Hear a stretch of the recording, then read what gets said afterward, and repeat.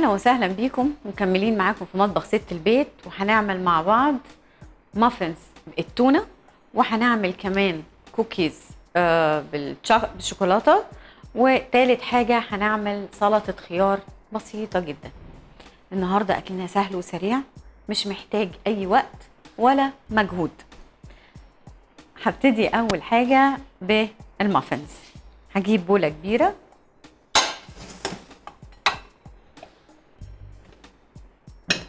أول حاجة هعملها هكسر فيها ثلاث بيضات.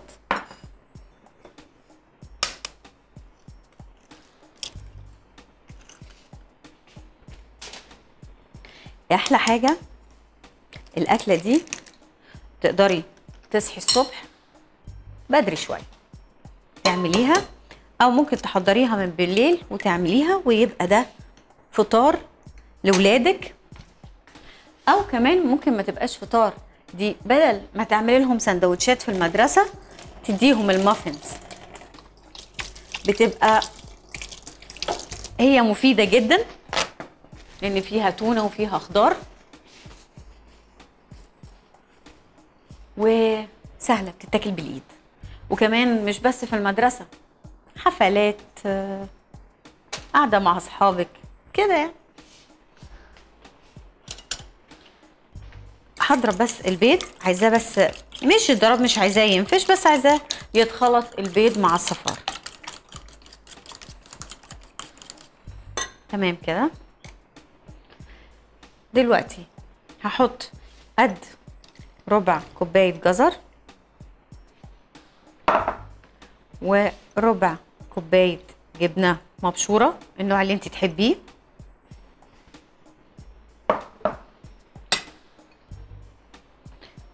البصل عايزة معلقتين كبار.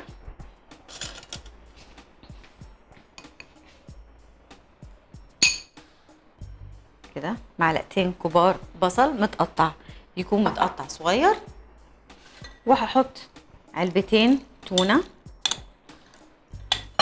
تكوني بس مصفياهم من الزيت. أي نوع تونة تحبيها؟ تحبي تجيبي تونة متفتتة تحبي تجيبي تونة حتة واحدة تونة لحمها أحمر تونة لحمها أبيض اللي تحبيه.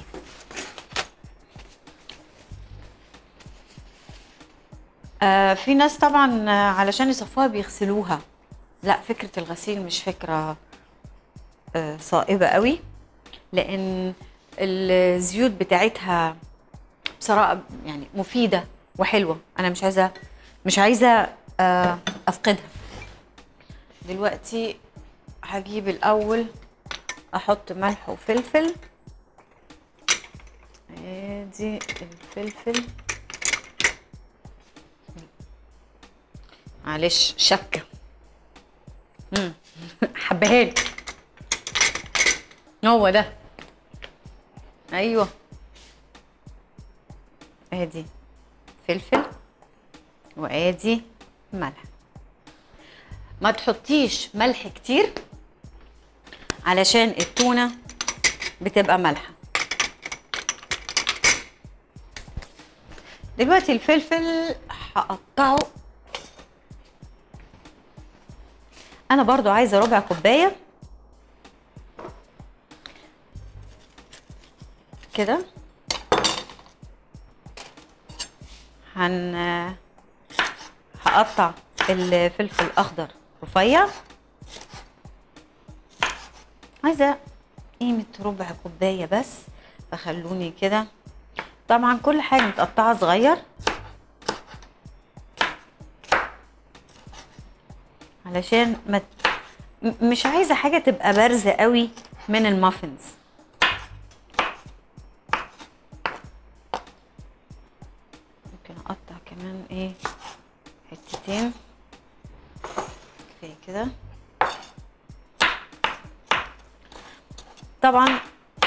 عايزة أقول لكم لما عملت أنا عملت المافنز دي في البيت ولما عملتها ما كانش عندي ولا فلفل أخضر ولا كان عندي جبنة شيدر.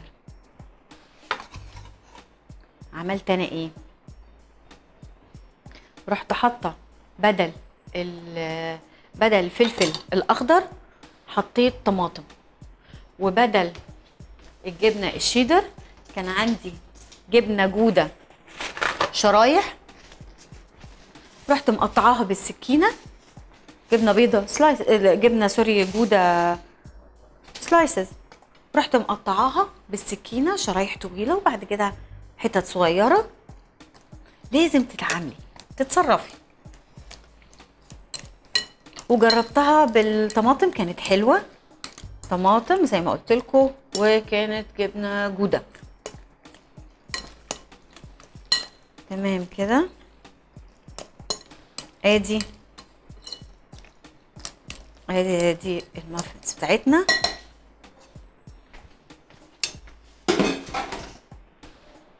هغرفهم بقى عشان ادخلهم الفرن. أنا النهارده مستعملة سيليكون. مش شرط تستعملي السيليكون. وأنا حطاهم جوه ال- الفورمة بتاعة ال cupcakes. أقول لكم في البيت أنا عملت إيه.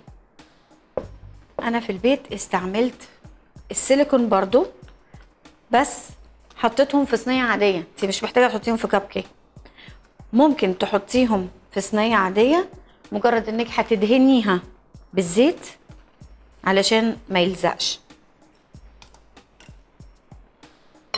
أو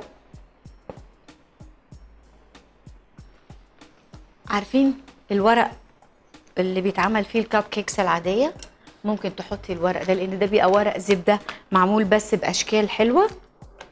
هتحطيها وتصبي جواها العجينة بتاعتنا. كده. واحدة كمان. أدي. كده. عايزة أقول لكم أنا لما عملتها أول مرة كانت في حفلة. في المدرسة بتاعت الولاد. وعجبت الناس كلها حازت على إعجاب الناس كلها.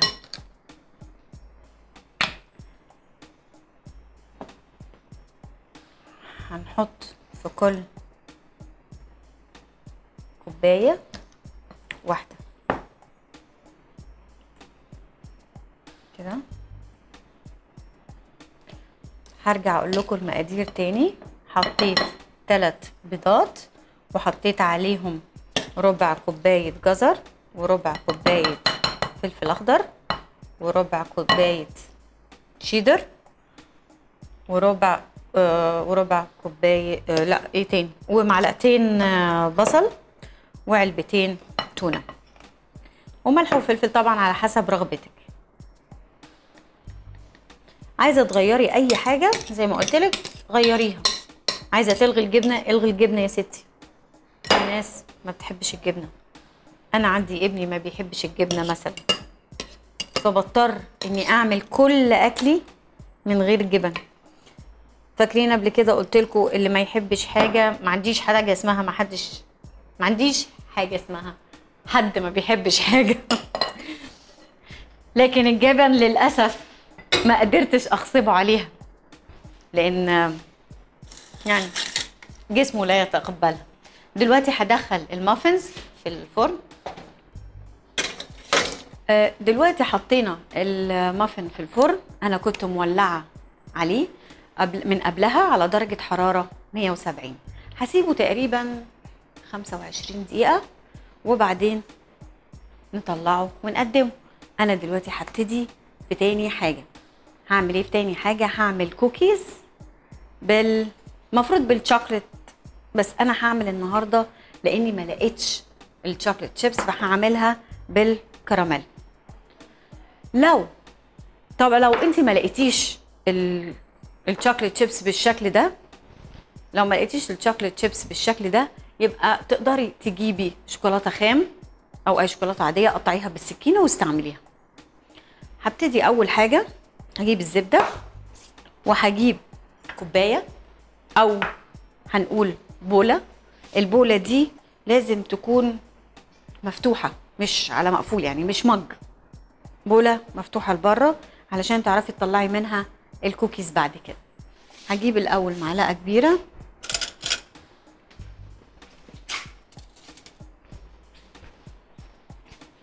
هحط معلقة كبيرة زبدة. حاولي على قد ما تقدري تظبطي مقاديرك. أنا هعمل واحدة كوكيز واحدة. بصوا بقى علشان أنا أتأكد إن هي معلقة كبيرة أنا عايزاها بالشكل ده.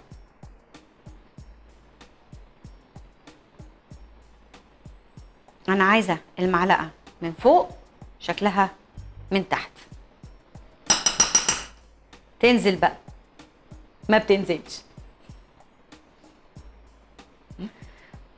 هحط الأول. هحط الأول الزبدة في الميكروويف لمدة 30 ثانية علشان تسيح.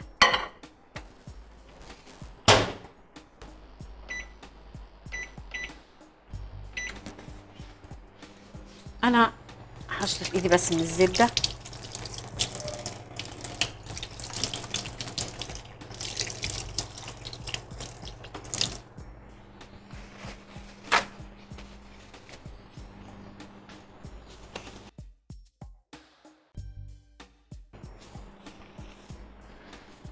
تمام كده. أنا هحط الزبدة بعدها هجهز الحاجات اللي هحطها. عندي آه maple syrup وفانيليا ودقيق آه لوز هقول لكم إزاي بيتعمل. وال chocolate chips زي ما أنتم شايفين. خلوني أفتح لكم كده. الزبدة ما ساحتش قوي أنا مش عايزاها تغلي أنا عايزاها يا دوب تسيح. تمام. هحط فانيليا. هحط نص معلقة صغيرة. لو عندك فانيليا اللي هي السايلة مش البودرة بتدي طعم اجمل بكتير. دلوقتي هحط سيرب محتاجة معلقة كبيرة. ممكن ممكن بدل آه السيرب تستعملي عسل ممكن تعملي مية بسكر بس تعمليه تخين شوية. ده البدايل. فهو بديل للعسل. ودلوقتي هخلي دي هحط دلوقتي عشان أنا مش عايزة أوسخ آه، دقيق اللوز. هحط دلوقتي معلقتين كبار. زي ما قلت لكم إيه دقيق لوز. هو مش دقيق بمعنى الكلمة. هو لوز بجيبه بسلقه ب... آه، بقشره وبعد كده بحمره في ال... مش بحمره هنقول بحمصه. وبعد ما أحمصه أروح عاملة إيه؟ أروح ضرباه في الكبة. هيبقى بالشكل اللي أنتوا شايفينه ده. عامل زي التراب شوية أنا دلوقتي حطيت المكونات. ممكن أحط سنة سنة كمان. تمام كده. أنا عايزاها تبقى ماسكة سنة. نسيت. محتاجين نحط رشة ملح صغيرة.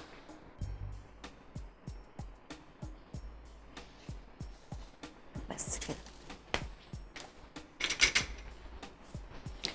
ليه بقى بنحط رشة ملح في الحاجات الحلوة؟ دلوقتي رشة الملح في الحاجات الحلوة بت- بتظهر بتظهر الحلاوة أكتر. ولو حطيناها مع مثلا آه baking powder بتخليه يشتغل. ال baking powder يشتغل أحسن. تمام كده. دلوقتي هجيب الكراميل أو كراميل شيبس اللي بدل شوكليت شيبس هحطها على الوش. وزعيها كده على الوش. أنا مش محتاجة منها غير إن هي تسيح.